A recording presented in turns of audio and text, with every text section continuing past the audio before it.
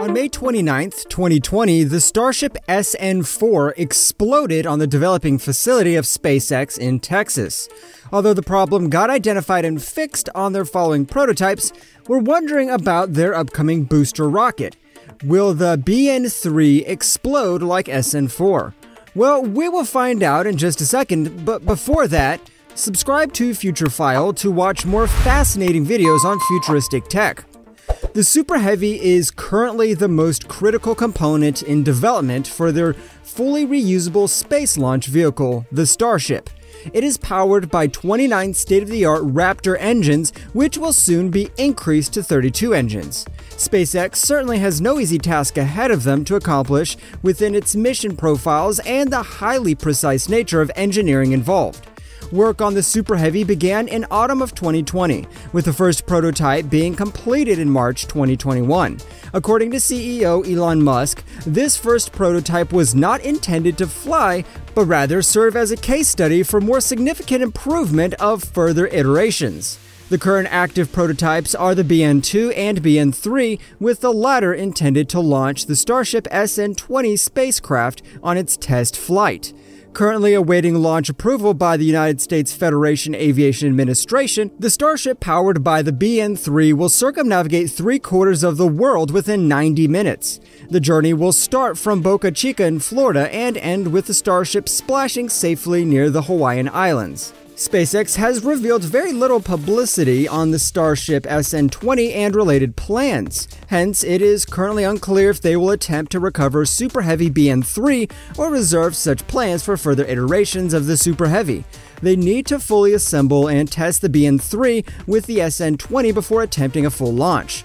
The BN3's engine section has been completed according to reports with cutouts for all 28 Raptor engines. Its fuel manifold has also been completed, which will attach itself to the end of a transfer tube, which in turn will be used to route methane through the liquid oxygen tank to fuel the engines.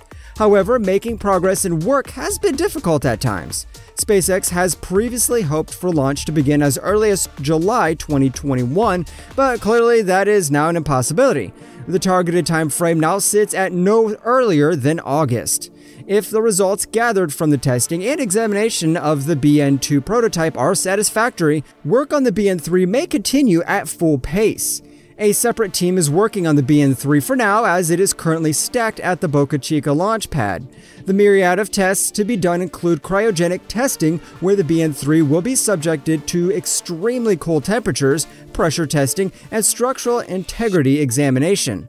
All these tests contribute towards laying to the rest of a key concern of Elon Musk and the engineering teams preventing an explosion like that of the Starship SN 4. In March of last year, the dramatic explosion of the Starship SN 4 sent a real shock to SpaceX and the rest of the aerospace industry at large, even if Elon Musk appeared to be unfazed. On May 29, 2020, hours before the SN 4 was to be launched into space, the spacecraft abruptly exploded. Elon Musk told Reuters that a minor disconnection test quickly became a big problem. The disconnection here is referring to a system that provides propellants for Starship's Raptor engines. This system needs to disconnect and reconnect to the Starship when needed as it allows the crew to maintain control of the spacecraft. Incorrect connection of the propellant system led to liquid methane being gushed out of a specific section of Starship. As methane is gaseous in normal conditions, a massive cloud was created. One spark was all it took to obliterate the SN4 completely. The quick disconnect system for propellant is quite complex as it has to simultaneously enable the ship to be fueled and controlled and permit in orbit docking and refueling. Nevertheless, a small mishap was enough to cause the craft to burst into flames and explode. It has been an excruciating lesson for SpaceX, and a costly one at that, delaying the completion of all subsequent Starship prototypes after the SN 4 it can be reliably expected that SpaceX has gathered the necessary information to learn from their mistakes to apply on the Super Heavy BN3 and the SN20 as well. The current BN3 iteration, from a technical standpoint, is arguably just as complicated as the Starship itself, if not even more complicated, as it is a specialized launch vehicle. While we can think of a hypothetical BN3 explosion with the same cause of the SN4s, the reality is that aside from propellant systems leaking and sparking, there are literally hundreds of things that can go wrong for an explosion to be caused. We do not have much public data available to us on the BN3 or the SN20, so we have to use a different example to draw parallels with. This brings us to a second attempt to launch the N 1 rocket by the Soviet government on July 3, 1969. After climbing to an altitude of 100 meters in 10.5 seconds following liftoff, it began shredding parts from its tail section. The rocket tilted sideways and fell horizontally back onto the launch pad with a large and violent explosion that was visible from at least 70 kilometers away. Soviet aerospace scientists and officials were fortunate to find intact flight recorder cassettes at the crash sites, which would later prove crucial in understanding the cause of the mishap.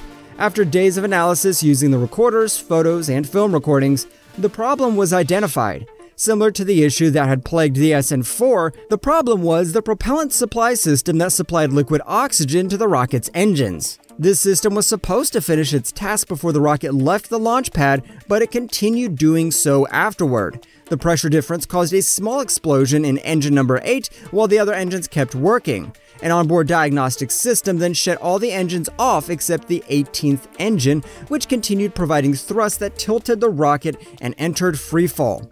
The force of the blast caused propellant lines to other engines to be severed one by one, leading to the diagnostic system shutting those engines down. Still, investigators were unable to definitively determine what caused the propellant lines for engine number 8 to be snapped. Some of them insisted on the introduction of a foreign object, while others insisted that the pump itself failed on its own. Fortunately, no lives were lost in this disaster. The fire explosion was certainly frightening to all those who witnessed it. The launch pad was completely destroyed and it had to be rebuilt over a long period of time. It would take at least a year to return to regular functionality to the launch pad and get further rocket launches rolling. As mentioned before, the stakes are very high for SpaceX with their BN 3 launch, as it is the initial booster stage that requires the most thrust force. It is the stage with the greatest number of engines. The higher the number of rockets, the higher number of things that can potentially go wrong. Regardless of exactly how such an explosion would occur, what is certain is that any explosion within the fuel tanks or the engines would result in the biggest explosion suffered by any SpaceX spacecraft ever. An immensely large amount of fuel would be ignited and spontaneously exploded. Combined with all 28 engines exploding one by one, a conflagration of unmatched proportion will be the result. SpaceX has built crucial structures using rebar reinforced concrete to avert such a possibility, reducing the chances of dangerous sparks. However, industry experts have stated that it is doubtful that the concrete covering would do much in terms of stopping dangerous chain reactions, and have asserted that nothing will stop a foreign object from entering and causing ruptures. Another possibility would be a backfire event similar to the one that occurred during the testing of the Starship SN 11. An emergency shutdown was issued for the SN 11 due to a fuel flow backfire that went back up the fuel lines, causing liquid methane to spray all over the internals. According to SpaceX terminology, the timely emergency shutdown prevented any possibility of a spark causing another costly explosion for SpaceX or rapid unplanned disassembly.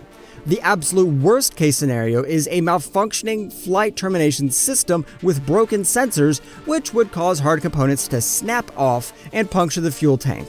Such an event would result in a total and sudden explosion of the entire spacecraft, resulting in the launch pad being showered in burning hot debris. As stated previously, not much information on the mechanical aspects of the BN3 are available for public dissertation. We have to rely on speculation from limited data sources and look to similar incidences in the past. It is not entirely unreasonable to think of a scenario in which the BN3 explodes as rocket science is similar to the magic in fiction, hard to control and maintain. Conversely, it is also a fact that nothing in this field is certain until the ultimate moment of truth. So, what do you think? Do you think the BN3 rocket booster will explode? Share your thoughts in the comments section. If you like this video, you may also enjoy the next video on Starship's new floating launch pad that is shown in the end screen. See you there.